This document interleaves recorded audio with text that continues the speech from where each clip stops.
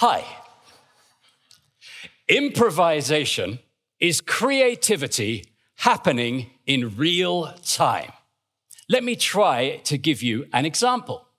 Amongst other things, I am known as a spontaneous poet. That means you can say to me any words or ideas in the whole of the English language. I'll take two or three completely different things, if you like. I will then immediately speak for you a poem that rhymes, makes sense, and features everything you have just said to me. So I need a, two or three of you to put up your hands and give me any word or idea, and we'll let these lovely people with the microphones reach you. Any word, phrase, or idea in the whole of the English language. Gentleman over there with his hand up. Can we reach there? Winches. Witches. Winches. Winches. Like as in, here, in- winches. in here. Okay, winches. Okay. Uh, should we have one over there? There's a gentleman with a hand up over there. Simplicity. Simplicity winches. And can we have one more somewhere over here? Oh, where, where are we pointing? Uh, can we reach this gentleman over here? Winches, simplicity, and Sailing. sailing. Okay. Let's see what we can do with this. Sailing, winches, and simplicity. I've no idea what I'm going to do with this. Wish me luck. So I hope I'll get your vote as we climb together on the TED boat. Because it's only words that I'm regaling, and I need your minds as we go sailing. Because now the poem is in motion, we'll keep afloat on this ocean. And then we'll smile and show a dimple. Even in poetry, we'll keep it simple. Because in this town that's good and pretty, sailing's obvious, it's simplicity. But I give it a bit of an inch, saying also perhaps you'll need a winch. So I hope it's really true. I'll keep this afloat just for you. And that means I can say we got winches, simplicity, and sailing today.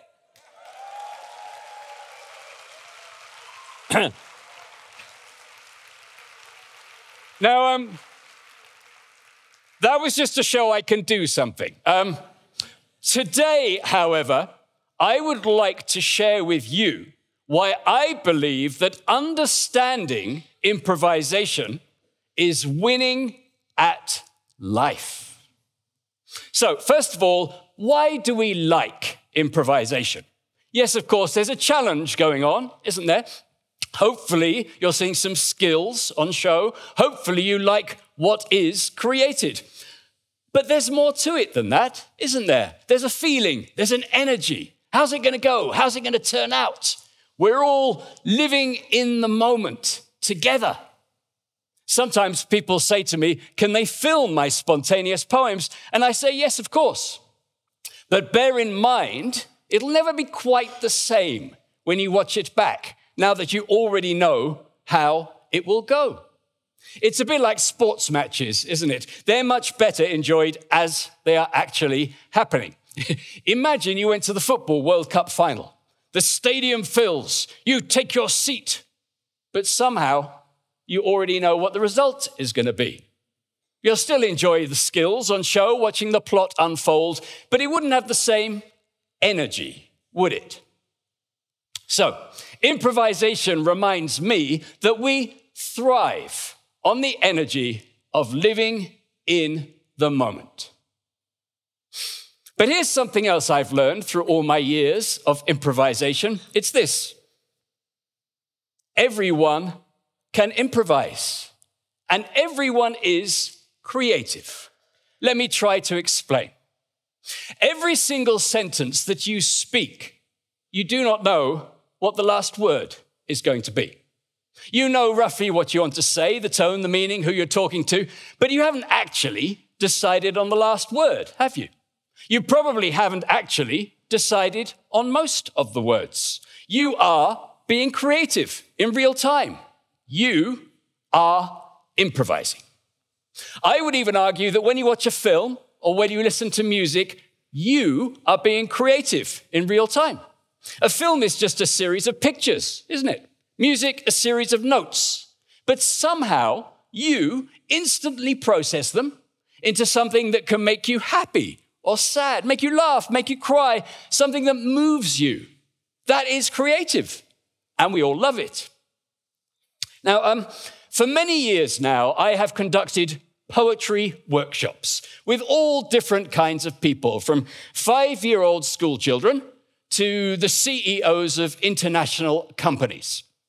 And at the beginning of every workshop, I stand there and I say, by the end of this workshop, everyone here will have written a poem. Do you believe me? And some people say yes, but quite a few say no. But in all my years, genuinely, all my years of doing what I do, I have yet to find a human being who cannot write a poem. They just don't think they can.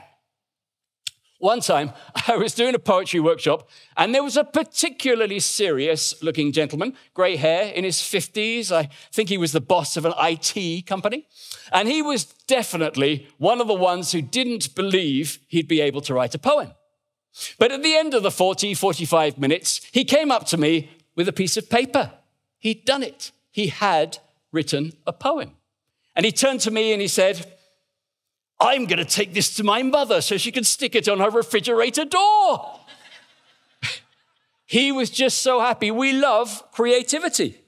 You see, I believe, honestly, in order to be creative, what we have to do is to relax, to trust it, to dare to open ourselves up to the magic, the magic that is outside of us and the magic that is inside of us. Now, obviously, while we're doing this, sometimes we'll make mistakes and we'll encounter failures, but that's absolutely fine. That's how we learn, that's how we develop, that's how we grow. I think it was the American inventor Thomas Edison who once said, I have not failed, I've just found 10,000 ways that don't work. so for me, improvisation is a perfectly formed example, uh, a microcosm of how we all thrive on the magic of creativity. But here is probably the biggest thing I've learned through all my years of improvisation. In improv, they say, pray for a good ending. They, they, why do they say that? Well, when you are improvising, you are juggling lots of different things at once. You've got the suggestions from the audience. You're trying to come up with a good idea, the right words, the right sounds. You're thinking about how the audience are reacting. But somehow, it's all got to come to a conclusion. You need it to finish nicely. You need a good ending, a good last line. And I think we all do the same in life, don't we? We all have goals. We all want good endings, whether it's uh, in our careers, in our love life, um, in our hobbies. Maybe you want to get to the top of a very tall mountain. In our parenting, we all want our kids to turn out as well rounded adults, don't we? Or in life itself, who wouldn't want a peaceful end and a good funeral?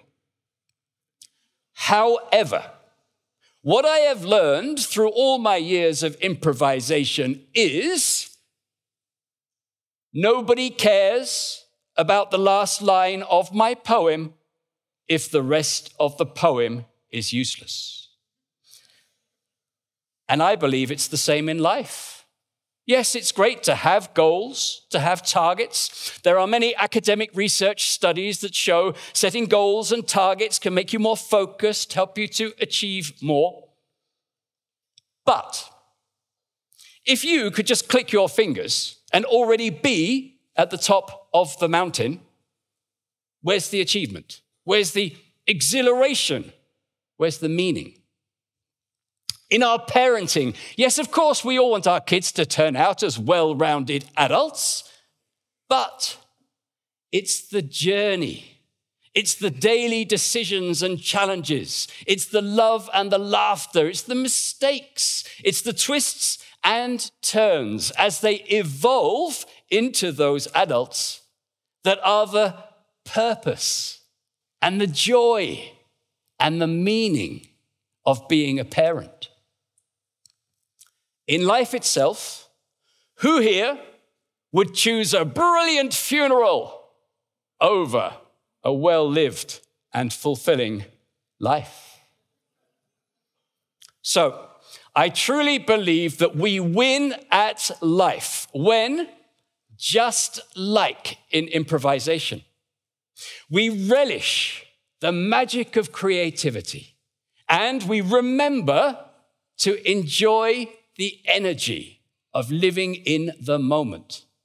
Yes, set goals if you want to, but understand that that's not what it's all about.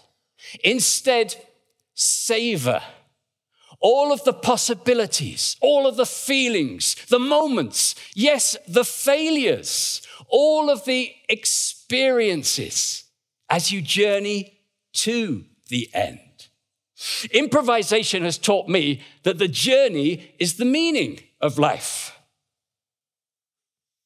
The journey is the meaning of life. So, to finish, what I'd really like to do now is one more spontaneous improvised poem for you lovely people. However, this time, I would like the three words or ideas to be inspired directly by what I've just been talking about for the last few minutes. So it can be keywords and ideas that I've said that you remember, or it can be your reactions, your thoughts, adjectives, whatever you like. But three suggestions inspired directly by what I've been saying, and let's see what we can do with that. So, can we have somebody over here put up their hand? Any suggestion, any word, any phrase, any idea, or the microphone is on the way? What would you like to say? Happiness. Happiness is a beautiful choice. Can we have one over here? Any word, any phrase, any idea? Behind over there, there's somebody. So you've got happiness, and just over there, Magic. magic, one of my favorite words. We've got magic, we've got happiness, and one more, perhaps over here. Yes, there's a hand up, thank you. Mountain. Mountain. Oh, yeah, we did put that in too, didn't we? So we've got mountain, we've got happiness, and we've got magic. Let's see what we can do. Before I do this, by the way, can I just say quite sincerely, thank you for listening to me today, and thank you for sharing these moments. It felt important. Thank you very much. Okay. Thank you very much. Happiness, magic, and mountain. What am I going to do with this? I have no idea. So I'll try to sum it up in rhyme. Every life is a mountain to climb. But of course, I have to say, remember to stop and smell the roses on the way. So today we feel a bond. It is Ted's special wand. If we forget to think, it would be tragic. So we're enjoying this kind of magic. So the words they pour out like a fountain. We've now learned how to climb the mountain. Because in the world of trouble and strife, remember to savor every step of life. So do it more and never less. It'll add to your happiness. And it means that I can say, be happy on your magic mountain today. Thank you so much and have a lovely evening.